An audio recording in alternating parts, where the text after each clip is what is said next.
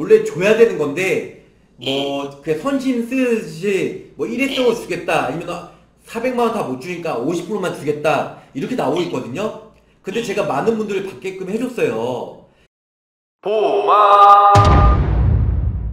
네, 안녕하세요. 어, 네, 안녕하세요. 보호망입니다. 네, 어, 일단은 내용은 잘 봤고요. 네, 여기 보면 이제 추간판장애로 시술을 받았는데 보험사에서는 이게 수술이 아니라면서 보험금을 처음에 안 준다고 했다가 나중에 뭐 클레밍 거니까 200만 원까지 주겠다. 그 아, 내용인가요? 저, 예, 그렇죠. 200만 원은 주겠다고 하더라고요. 원래 보상받을 200만 금액이 얼만데요? 400만 원이야. 거기에도 써놨듯이 200만 원은 아무데도 없어요. 저희가 초간판 장애였을 때 300, 네. 그다음에 그 질병 수술일 때 50, 50, 35대 예, 수술이 예, 이렇게 400. 그렇죠. 근데 저희 설계사분이 제가 그 저희 조카의 형님이에요. 네네. 그래가지고 그분이 또 이렇게 그 보호망님 유튜브를 보고 네. 제가 그쪽으로 해줬어요. 그랬더니 아유, 감사합니다. 그걸 예. 보고 예 그걸 보고 이제 문의를 이제 했나 봐요. 근데도 안 된다고 그러더라고요. 근데 안 되는데 나중에 200만 원 준다는 건 뭐예요? 그래도 얘들 캥, 캥기는 게 있으니까 예, 그렇게 한 거잖아요. 이, 그러면서 자기네가 그, 그 말도 했어요. 저희 그 민원 넣으면 200만 원도 못 받을 수 있다라고도 하더라고요. 그러니까 그거예요. 어, 처음에 보험회사는 안 줬으면 처음부터 안 줬어요. 예, 근데 그렇죠. 원래 줘야 되는 건데 뭐그 선심 쓰듯이 뭐 일회성을 주겠다 아니면 400만 원 다 못 주니까 50%만 주겠다 이렇게 나오고 있거든요. 근데 제가 많은 분들을 받게끔 해줬어요. 근데 뭐냐면 중요한 건 그래요. 얘들이 하는 말이 항상 그거죠. 수술의 정의는 절제 절단이고 흡입 네, 천자는 그것만 아니다. 그죠? 기- 이거는 얘들의 뻔한 스토리예요. 근데 뒤에 보면 뭐가 있죠? 수술의 요한은 네. 등의 조작이잖아요. 등의 조작. 예. 그러니까 지급이 돼, 돼야 된다는 게 맞는데 중요한 그런 그래도 말은 못 하겠더라고요. 네? 그 이제 능숙하게 못 하겠더라고요. 그 등 조작이가 뭐 그렇죠, 그렇죠. 네. 근데 이거를 전문가가 좀 얘기해야 되고 더군다나 또 중요한 건 제가 최근에 레이저나 냉동 응고술이나 이거를 수술로 인정하는 법원 판례도 나왔어요. 이 뜻이 뭐냐면 얘들이 얘기한 게 절대 절다 요즘에 칼로 무식하게 누가 칼로 째요. 제가도 그 말도 했거든요. 진짜 의학이 발달돼서 신의료기술도 포함이 돼야죠. 종양도 예 종양도 시술을 하는 방국에 맞습니다. 그럼 이런 보험을 내놓지 말았어야죠. 그렇죠. 그냥 얘들이 갑의 횡포예요. 그렇기 때문에 이런 것도 신의료들도 수술에 포함이 되고 과학이 발전함에 따라 요즘에 작은 군종이나 아니면 위 내시경 검사하면은 내시경 검사에서 그 절제하잖아요. 저 뭐죠? 그 용종을 제거하잖아요. 네네 그것도 봤어요. 예. 그래서 그것도 다 보상을 해줘야 되는데 얘들 말 같지 않는 소리 하는 거예요. 그러니까 네. 강하게 어필하시고요. 금융감독에도 뭐 안 준다? 그러면 나 그러면 법원까지 가 있다 그냥 강하게 나가세요. 만약에 사모님께서 불안불안하고 200만 원 받고 땡칠래 이면 어쩔 수가 없어요. 네. 사모님 계약이니까. 그런데 네. 제가 봤을 때는 굳이 받을 수 있는 부분이 있, 있음에도 불구하고 얘네들이 좀 캥기는 게 있으니까 그냥 50% 그냥 받고 너네들 그냥 땡치자 이렇게 더 쇼붙이는 거예요. 네. 어떻게 생각하세요? 도와주세요.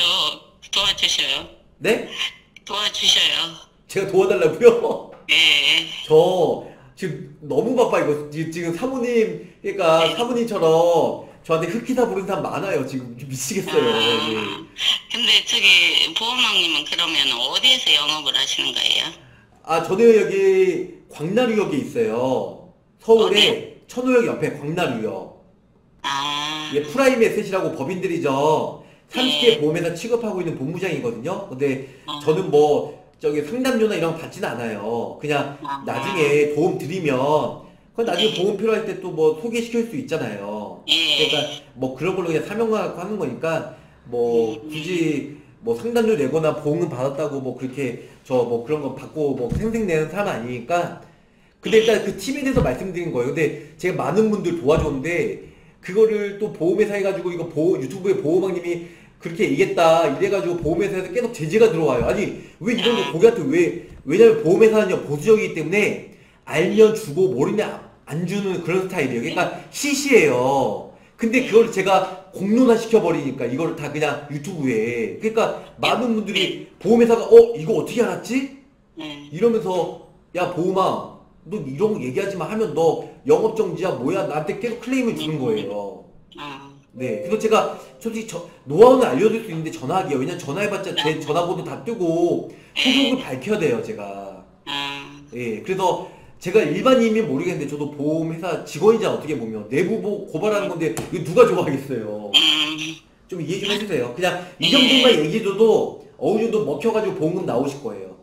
음, 그러면은 제가 그 통화는 많이 했었거든요. 근데 계속 안 된다는 말밖에 안 하니까. 그러니까 얘들 아주 나쁜 놈들이 아주 그냥 아유 진짜. 그래서 지금 국민 저기 금융감독원에 민원 넣으려고 제가 작성은 다 해놨거든요. 예, 그거 올리시고 뭐 예. 이것저것 다 올리세요. 국민신문고랑. 그래서 올린 다음에 어차피 보험회사는 금융감독원에 민원 많이 들어가면 안 좋아요. 예, 네. 그, 그 말도 하더라고요. 자기네들 이렇게 좀 징계당한다고. 이게 맞죠. 근데 어떻게 아, 징계 징계 안 당하려면 돈을 줘야지. 그렇다고 고객님이 뭐 앞질 민원도 아니고 당연히 받을 수 있음에도 불구하고 못 받는 건데 네. 그렇잖아요.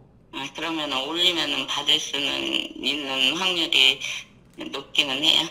그렇죠. 높긴 한데 제가 뭐 감나라 폭나 할 수는 없고요. 네. 뭐 나중에 안 나오면 저 원망하실 거 아니에요. 아, 아니에요, 아니에요. 네, 예, 그러니까- 저도 네. 200만 원 포기하면서 네. 올리는 거예요. 근데 네. 충분히 받을 수 있고요. 네. 그리고 받은 사람들도 많이 있어요. 그러니까 네. 어, 저도 저희 다행입니다. 지인들도 다 받았다고 하더라고요. 시술했는데 다 받았다고. 그거 똑같은 저기 디스크 수술을 했는데도 받았다고. 야 받을 수 있는데 그러더라고요. 손해율이 워낙 크니까 이제 그것 때문에 네. 그런 거예요. 근데 충분히 받을 수 있어요. 예. 근데 금액이 작다고 저거 크다고 안 주면 그건 어긋나죠. 이거 200만 원, 300만 원이 금액이 큰 게 아니에요. 예. 돈 천만 원, 2천만 원짜리 뭐 그런 많이 청구하는데. 예. 네. 예, 어쨌든 힘 감사합니다. 내시고 또 제 도움 필요하시면 언제든지 연락 주십시오. 감사합니다. 네, 네, 그럴게요. 네. 네.